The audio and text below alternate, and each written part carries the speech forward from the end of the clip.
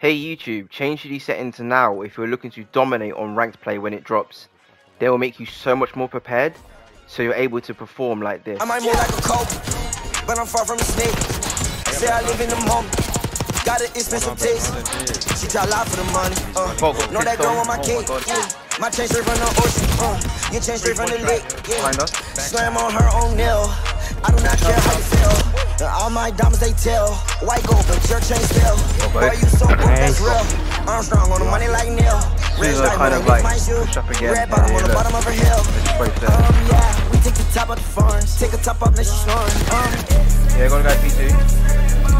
Was it just one? Yeah, one more, but one right side.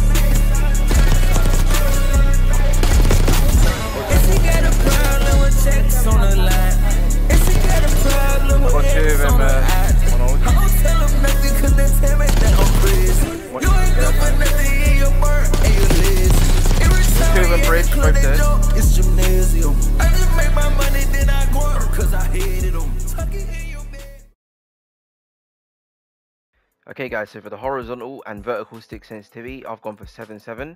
If you actually played last year, uh, this year's 7.7 is actually last year's 6.6. But if you didn't play last year's COD, then this doesn't matter to you. But I would say go for 7.7. Anything between 6 and 8 is probably the sweet spot in this game. That's what most pros are playing right now as well. So definitely go for 7.7. For these three, um, just default. If you play flipped, you can keep this on. It's honestly personal preference. Controller vibration, make sure you have this off. Same with trigger effect. You don't want any unnecessary haptics. It's just going to put you off in game. For the dead zone inputs, I'm actually going to stop on this screen so I can show you mine. So for my left stick min, I've gone for 4. Same for my right stick min as well. If you have a controller that has stick drift, I would bump this up past 10 until you don't see any more. Or even 210. For my left stick max, I've actually gotten this on 65. For the left stick max, you actually want it between 60 and 70 because this is actually going to be the stick you're going to be using for movement. So you don't want to be putting in too much input. So your movement will be a lot more fluid. For your right stick max, I've gone for 90. And then for my L2 and R2, I believe that's LT and RT for Xbox. You're going to want this on zero because you literally want next to no input when you're aiming and firing your guns. You'll be able to do it so much quicker than before. So that's it for the dead zone inputs. Now moving on to the aiming section. So you want to hit aim and advanced settings. These two here just default. So hit this. Uh, this is on gradual, so this is just default. This is default as well. Aim response curve type, you're going to want this on dynamic as it's going to make you the most snappy when aiming onto a target. Literally all the pros use this, so it's quite a big setting. And then just have this on 1. For custom sensitivity per zoom, turn this on. Hit show more. For the first two, have 0.8. I feel like 0.8 is really good for tracking opponents. It just makes it so much easier after like moving around, especially with like the on the movement on this as well. So I've gone for 0.8 for the first two, and then all the rest just have it on one. Obviously, you're gonna want target aim assist on if you're playing on controller, otherwise you're just trolling. For both of these settings, keep it default. For tactical sprint assist, you're gonna actually want this on, so click on this and then hit tactical sprint assist. Once you've done that, hit show more. And where it says sprint assist delay, make sure this is all the way turned down to zero so there's no delay when you're trying to activate your sprint assist. Mantle assist, you want this off. Crouch assist, off. Corner slice, this setting is basically, you see where you're aiming around the corner, your gun kind of tilts to the side. That's basically what that setting is. Me personally, I have it off as I feel like it's unnecessary on this game because from the enemy's POV, you're actually not even going to be tilted. You're going to just, your character will just be like normal. Like you won't be to the side in any way so I just find it pointless so I have this off personally. For slide chest dive behavior I've actually gone for hybrid. If you're someone that likes to dive hybrid is definitely the best. You don't want tap to slide because with tap to slide there's actually a delay because the game basically has to decide whether you're going to slide or dive. So naturally there's going to be a delay there. If you're someone that's not really interested in diving if you're like an AR player then just go for slide only However, me personally, I prefer hybrid, despite the fact I'm an AR player. For automatic airborne mantle, have this off. This can be really annoying if on. I don't know if you guys have had it where you're in a gunfight and you might accidentally mantle something. This is the setting that does that, so make sure you have this off. Make sure you have sprint restore and slide maintain sprint. This will make your game feel way less clunky when moving around the map, so make sure both of these are on. Parachute automatic behavior, have this off, it's not going to matter. Uh, mantle cancels reload on. Once you've done that, guys, hit movement advanced settings. And then for this, you're actually going to want your single tap sprint on. The reason why I have this on personally is because you do save a lot of money on controllers because you don't have to keep constantly clicking in your left stick to activate like a sprint. So, in my opinion, I would have this on. You will save yourself a lot of money on controllers. Uh, plunging water just have free, it's not going to really matter. And then for sprinting door bash, just have this on. Once you've done that, guys, moving on to the combat section. So most of this is just personal preference, like the finishing move. So just keep all this default. Armor plate behavior, just have apply all, doesn't really matter. Uh, once you've like went over all this, go to combat advanced settings. And you see once you're on here, where it says interact slash reload behavior, I've actually gone for tap to reload. But if you're someone that's really flashy, you might want prioritize interact. But the reason why I have tap to reload is so that I don't accidentally keep picking up different weapons when playing an online match. Sprint cancels reload, have this off, and then all these three here just default. Right guys, moving on to the graphics section now. So if you have a monitor that supports 120 Hz, make sure you have this on. Gamma slash brightness, this is just personal preference. It depends what monitor you have.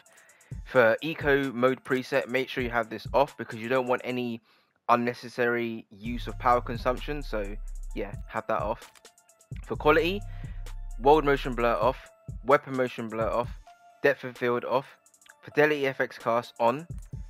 Uh, for the FidelityFX CAS strength, I would have anything between maybe 70 to 80 if you're on console because you can actually lose frames if you have it on 100. That's what I found out recently. And I've even seen Lunchtime say something about this as well. So I've gone for 70, but maybe if you're on PC, bump this up to like even 90 or 100. For on-demand texture streaming, I've gone for minimal. The reason why I have minimal is because I feel like this can actually mess up internet sometimes. Like you might get packet bursts and stuff like that. So if you don't want any of that or you want to avoid it, just have minimal.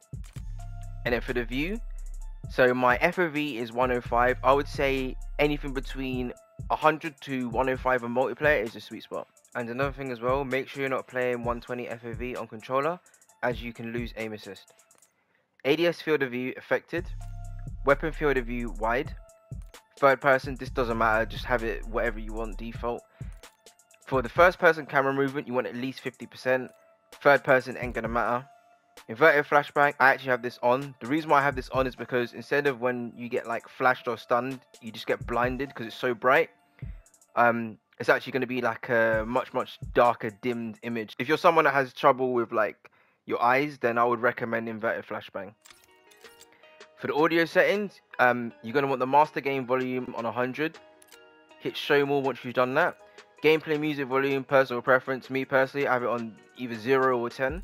Dialogue volume, you're going to want this on 50 because you don't want the characters to be too loud in game. Effects volume, 100%, you want this on 100. And cinematic music volume, have this on 0.